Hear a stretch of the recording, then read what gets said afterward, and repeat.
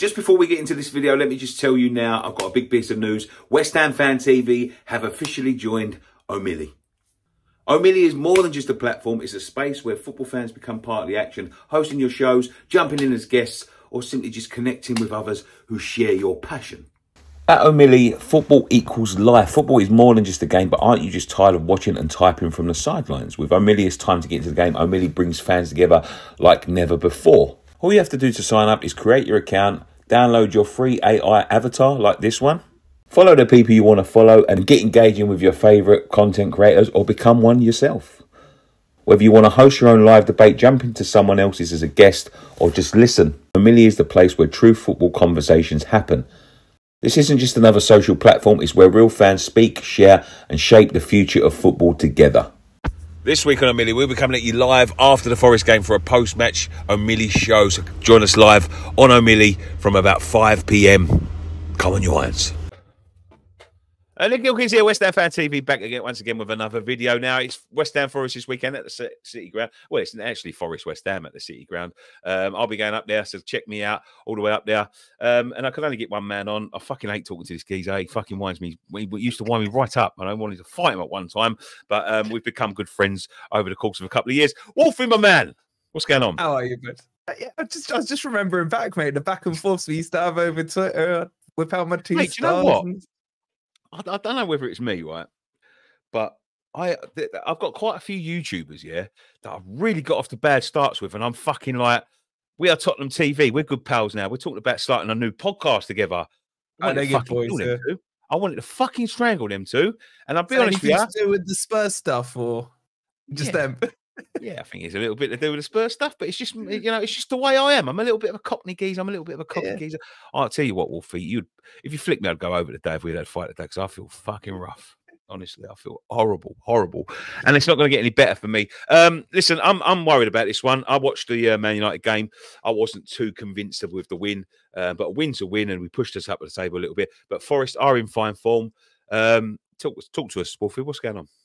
Mate, I don't really know, mate. It's like you know what? At the start of the season, I predicted would finish eighth, and everyone, including the Forest fan base, were laughing at me. Yeah. Now people are telling me you might have predicted a little too low.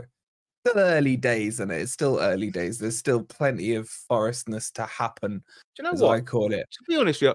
When I look at the squads, hmm. when I look at the squads, Forest got a good side and they've built yeah. a good, good, side, a nice solid side. Um, I'm a big fan of Danilo, and you just uh, you just reminded me that he's been out for, mm. for, for, you know for the most of the season. I like him. Yeah. I love Murillo. I think Murillo is a is a brilliant centre half. I like Chris Wood, as I said on your channel. You know what I mean? There was times Even when though was... he went to Millwall for a bit, mate. You I don't care. You know what I mean? We used to, used to Billy Bonds went to Millwall. you know what I mean? We love him. true, um, true. Lomas took them down. We still love him. Um, but yeah, so listen, it, you know, I, I, I, like Chris Wood. I, I, like the style of striker. People think he wasn't fancy enough for us. The fancy ones didn't quite work out. He's as honest as they comes, and he's in good form. Um, but yeah, yeah but when he came, mate, he was shite. Right there, there's no two ways of like under oh, Cooper. I know he, that. He, didn't, he didn't look like he knew what a football was, let alone where the goal was. And then Nuno came in, and I remember I was his biggest critic, by the way, under Cooper. He was atrocious. But I remember when Nuno came in and you researched Nuno's philosophies and things, you look at the way he wants to play. And you could see, like, you know how he did with Jimenez at Wolves? Yeah, yeah. I could see those ideas. I thought he was, he was using the traits to his advantage. Exactly. Yeah. Exactly. Which is what Cooper didn't do and then he's just been a machine ever since. I think only Haaland and uh, Cole Palmer have scored more goals than him since yeah. Nuno's come in. He's third top goal scorer in the league at the moment, and he's just oozing with confidence, mate. Honestly, we call him Cristiano Woodinho now, mate. Yeah, That's yeah. Like he's, he's I've, I've, listen, I've, i think it's a bit, but again, you know, it, we know that feeling. David Moyes came mm. in. Look at Haller, look at Scamacca, two yeah. strikers that have, you know, they've, they've actually made a big impact on Europe. You know what I mean? Yeah. Um, you know, well established strikers come to us, couldn't look uh, uh, hit a barn door of a banjo. We kept on reverting back to Michail Antonio every time one of them fucking missed hey, an open hey. goal. But careful, he's no, no. Boy. Well, listen, I love Michail, and mm. look, no, no, nothing you can say about Michail. We've had every, we've had European strikers, we've had Borussia Dortmund strikers. They keep on putting Michail back in, so Michail must yeah. be doing something right. That's what I'm saying. Um, listen, I'm a bit worried about Forest. I, as I said before, I'm not that convinced. with what I saw um, at the London Stadium on Sunday. We got the win. I still don't think it was a penalty. If I'm honest, I'm going to be fucking honest as the day is long. I still don't think it was a penalty. I think Danny Ings jumped into it. It's one of them 50 50, may have been given, may or not. It was given. Um, I don't know whether you watched the breakdown, mate, but I've, I've, played a load of clips of where we've been fucked over for the last five, six years on the spin. So I will take not that one. Us, mate. Yeah, yeah. I mean, it, it, it, it, takes a big club to get fucked over and then they start fucking. I mean, remember when. Uh, when Liverpool got that goal offside against Tottenham and they didn't stop stop talking about oh, it. Oh, mate, for a month. For a month yeah, it went on yeah. and on, didn't it? And then obviously when little old Forest decided to tweet out against the corruption, yeah, we got we got hit with three quarters of a million pound fine for that, mate. Worth it. Worth it. it. Exactly. It, it's it's worth it because I'm sorry, if, if, we can't talk out against bad decisions, then what does that say about where the refs are, where the PG LOL are, as I call them? The joke, mate. They're a monopoly. They're a monopoly, mm. and they're a, and they're a dictatorship. And I said this before. Look, 100%. I ain't got three quarters of a million pounds. I'm not paying no three quarters of a million pound fine. Yeah. Right. But I'm telling you now, you you see it. You know that every pundit in this country was up in arms, up in arms. That should never have been a penalty. It's cost him his job. Blah blah. blah. I, I picked up five clips, Wolfie, five clips where we've got a bad decision that's cost us the game against them in ten years. Mm mm. and you've never seen them again. But Nicky, what you see, especially with that entitled fan base that's Man U, they never talk to you about the ones that they've had year in, year oh, out. Yeah. Do you know what oh, I mean? Yeah. And suddenly, oh, they got look. I hate United. Yeah, even I'll agree it wasn't a pen, right? But it was funny. Yeah, I kind of laughed at it. I'm not gonna lie, right? But you know, they won't talk about. Do you remember when they scored when Spurs scored against them? all those years ago. Oh, when it went, Carroll. it hit the back of the net and he pulled it back. Exactly. Went, yeah. Yeah. Yeah. No Mate, corruption. I, I, watched the game the other day. Pogba scored against us an equaliser when it was important. The ball yeah. curved out. Of, David Moyes was looking at it go over his head. And the geezers, they looked at it on VAR and went, we, we don't know whether it went out yeah, of play. but they don't talk about those, mate. They don't no, talk they don't about talk those, about you know? Um, Felipe Anderson scored a goal. You'll see it on the on the breakdown. Yes. It was about yeah. fucking five yards on side. No one ever yeah. mentioned that again. These are the same decisions. These are the same decisions that cost us games. Yeah. Do you remember the Van Persie one that they used on the highlights reel that won him the league that Rooney passed through to him? He was offside. They never I, talk I about that. Yeah. Yeah. I remember. But, I remember. Know, if it's real I, clubs like ours, bro, they just don't give a shit, do they? I remember going back. Right, I, I, think we won the game. I think we won the game, so it didn't cost us, right? But mm. I remember mm. going back to Old Trafford. I think it was 2001 right? Something like that, yeah. And I remember Defoe scored. And I had a little TV. This was two, 2000, 2001. In one of them yeah. little TV things. You remember them little TV things, right? and fucking my mate had a, a little fucking thing. He went, that weren't offside, right? He, he, called him offside. Flag went up.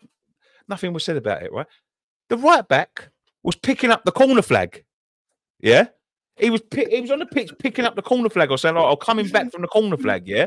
And he scored The geezer's there. He's flown up there. So say that's the edge of the pitch. He's there. The geezer's got his flag up there. The Defoe scores, and they, they, no one said a fucking dicky bird. It don't matter, mate. It don't matter. Mate, it don't, don't matter. matter. It's, it's, the corruption, mate. You know, we saw yeah. it last year. Forest, Everton getting screwed over with PSR. Chelsea can buy and sell hotels to themselves. Yeah, it's fine. They find loopholes.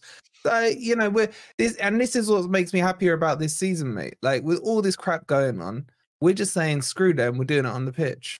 And we have what, been. What what what what do you f- let, let, me ask this in a in a good way because obviously there's a good way and a bad way to look at it. What do you way, think of the Premier League since you've come back? Uh, honest opinion, it, in the way not the same. It's not the same as the one we left. Yeah, I, and I think Sky have corrupted it. They've made it too much about the money, too much about the off-field decisions.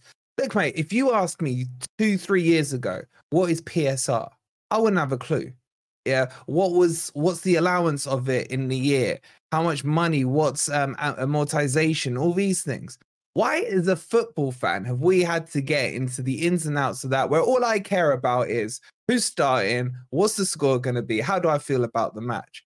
Just take it old school. Now, as much as I hated the championship, you never got this crap in the championship. No, it was about what right, happened. Mate. You'd go after the game, complain about a decision here and there you dust yourself off and you go on to the next game. It's football. But it's, yeah, this, it's football. This is not football. And I said this when Forest got done for for uh, FFP. I said it when fucking Everton got done twice. Yeah. I said it when they was going for after Southampton. Was it Southampton or Leicester? Leicester. Leicester. Leicester and, yeah. and, and Leicester won their case. They're now going after Man City, yeah, and things like that. And I said, like, I want to watch football. Mm. I want what happens on the pitch, no matter what's Yeah. going on. Like, uh, listen, unless you're fucking blatantly cheating, and listen, we've been caught cheating when we the Tevez thing and all that. We, you know, we, we got done. We paid the fine, right? Um, but they left the football decisions were left down to the football decisions. They went, Yeah. look, he shouldn't have been playing, but we're going to give him a hefty fine. But the football was played on the pitch, and that whatever happened on the pitch stays on the pitch, right? I still don't think it was dodgy fucking signing, but whatever. I'm, you know, I'm not. I wasn't even thinking. But what I'm seeing now, yeah, and, and I see this right. Everton last year deducted ten points. They're bottom of the league. Did one? Did one more games than than us? I think at the time. You know what I mean? Like, and I'm sitting, I'm looking at them. and They got no points or one point. I I'm like, they're fighting. We're we're fighting. We're we're we're we're, winning football matches in the courtroom, and Yep. like. What is the point? So like, like, like they've picked up. So say say they picked up ten points at the time. They've got three games. They beat us away. They beat someone else away, and they've won one at home. Right? I think they had ten points or sixteen points at the time. They're sitting at the bottom of the league, and I'm thinking, three. Somebody's gone to three games here, spent a whole lot of money, and it don't fucking matter because Exactly. the court have decided that don't count because Exactly. you spent more fucking money on your stadium, or you spent a little bit more money than this. You spent a little bit more money than that. I- I said this about FFP straight away. You ever have a fucking flat like it should not be based on the size of your club. Yeah. So Yeah. Forest Yeah. getting in trouble, Everton getting in trouble, right? Would not compare to if Man United bought a player that was more than both of them. They'd, they'd be able to do it. How, how is Exactly. this fair? This is monopoly. This is corruption. Uh, It is, mate. And on top of that, we mafia. got an owner who's got the money, who wants to spend the money, and is being told not to. The whole point of this FFP crap was to stop, you know, the Portsmouths from happening again. It's I not going to happen in this day and age. Listen, I it's not fit for purpose. But if you've got things like that, why not put a fund in place rather than keep on fucking holding all the money? Why not put a fund in place Mm. for like what's the point, right? You, you you get this fucking club, yeah. You get this club. Let's say Arsenal, for instance, right? Yeah. When they signed Pierre Emerick Aubameyang, it was sick. They've paid him three hundred thousand pounds a week. They give him a pay rise, right? They made Yeah. four people redundant, or four four four hundred people redundant, or saying at the same week because of COVID, right? Then they give this geezer a three hundred thousand pound pay rise in the same fucking um, breath. We see a fucking football club go out of uh, out of out of business, out of Business, yeah. existence over hundred years over the fucking one person's wages. It was he could Yeah. have paid that in Yeah. two days for them. Exactly. Exactly. was it's the pyramid, like- isn't it? It's not right, man. It's not right. Yeah. It's not right. And it makes it less competitive, mate. That's why, you know what? I've got no beef with Villa. I love what Villa are doing. They're shaking Brilliant. it up Yeah, a little. brilliant. Newcastle as well. I say let them spend. Let's see. Let's see how annoyed they can get the cartel six. And I said this. I said this when they come in. They stopped them. Them Yeah. six stopped Newcastle from getting taken over. Right. Two days then they later, took over. yeah. They started spending a bit of money. They started attracting a few players. What have they done? Now they have to sell.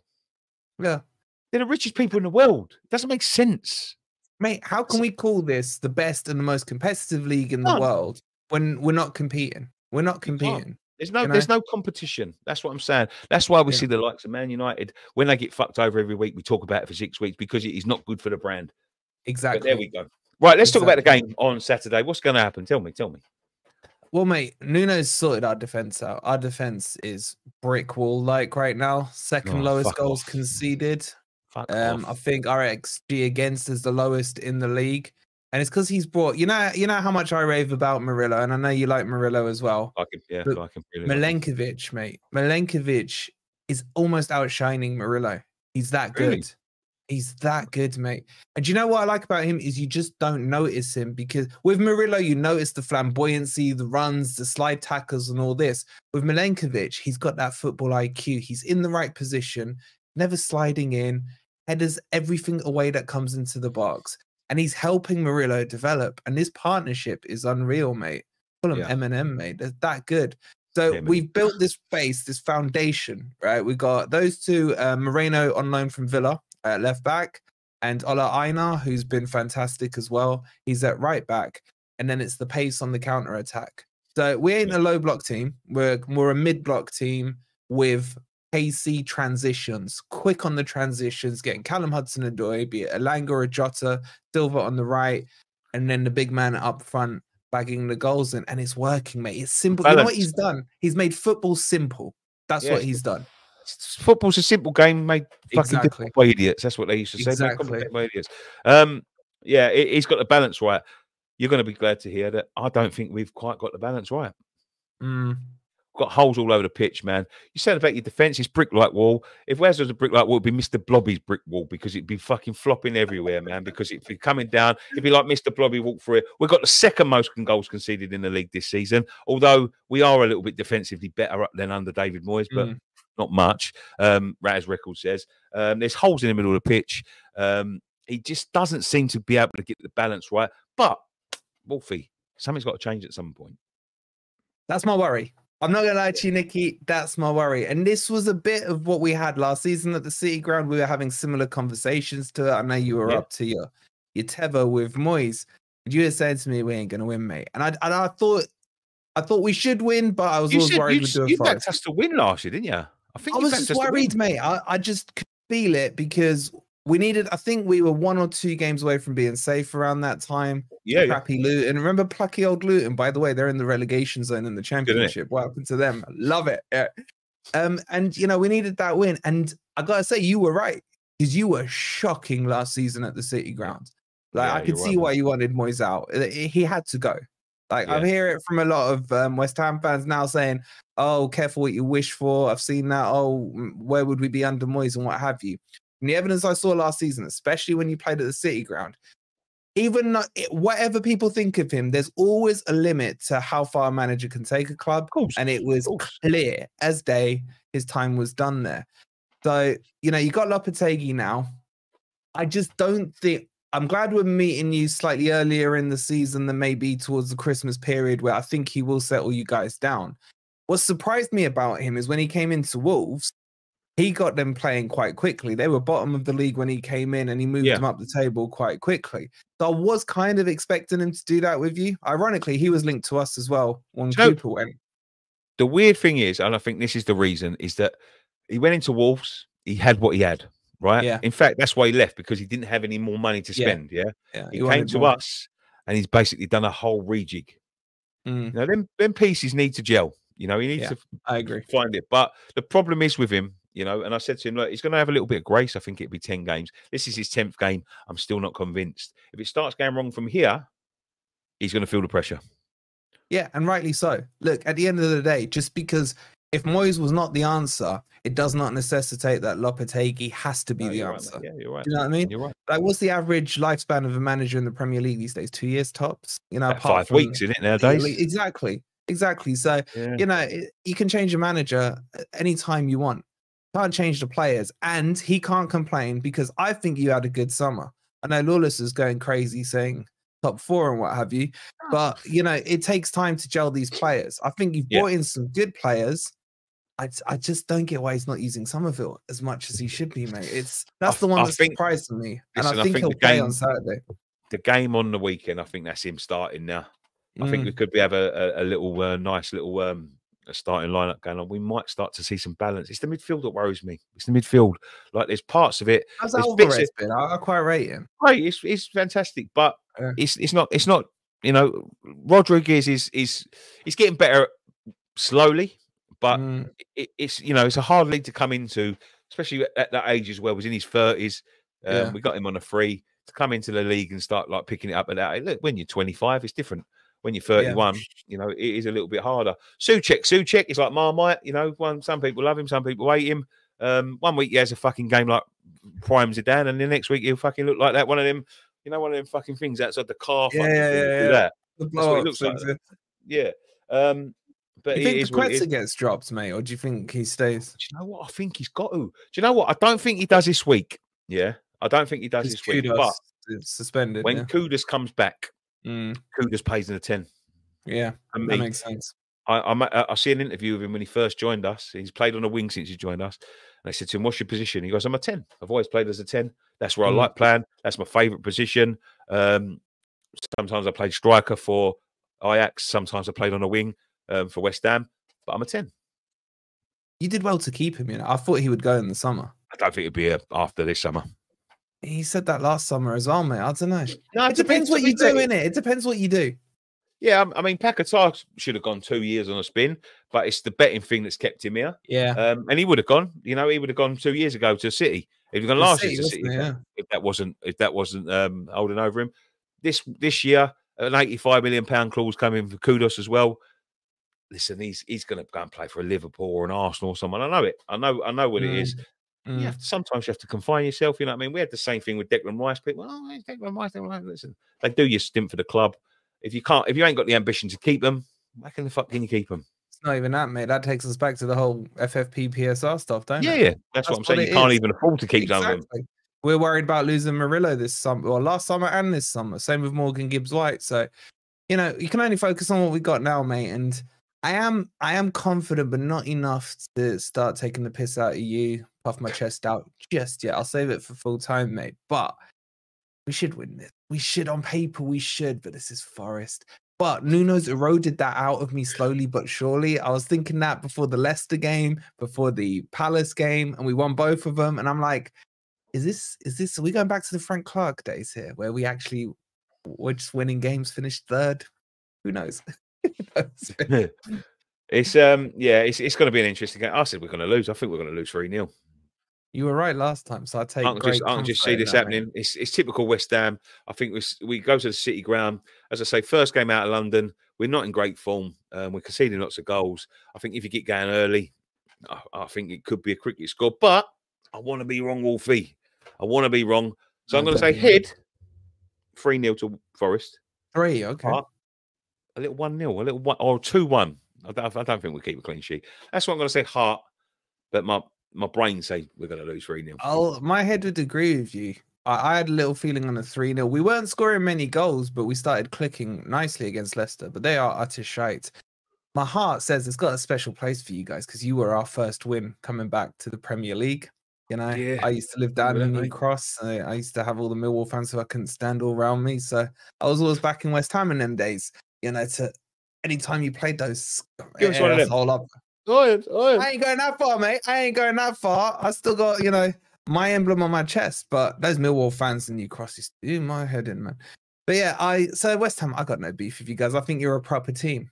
And I want the likes of you, us, Villa, um, Newcastle. Let's shake this up a little, mate. But yeah, you shake yeah. up from next weekend. Get your points on the board, and we can go back to hating each other again. Listen, I think I think all four of the clubs you got there, right? I think they've got the fucking tools in Potential. the locker. Yep. To do something, especially when the likes of Man United on the fucking on the ring. Exactly. Listen, Newcastle ain't doing that well, but you yeah. know what I mean. Like, there's a couple of teams there that are wobbling. Yeah, there's a couple of teams that are wobbling. So there's a, there's room for the Villa done it last year.